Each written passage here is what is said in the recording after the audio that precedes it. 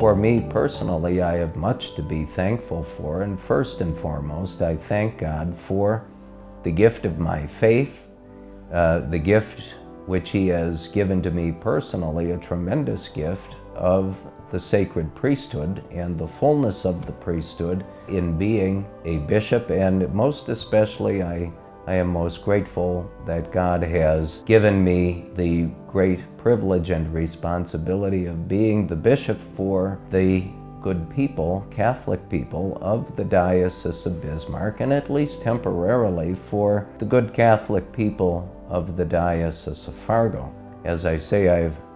much to be grateful for, and at my Mass at our cathedral on Thanksgiving Day, all of that will be part of my offering to Almighty God, along with the prayers of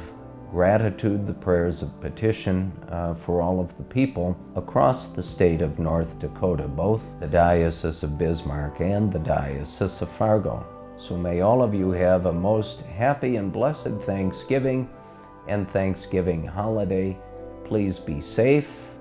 and enjoy this time, which is a great time for family reunions.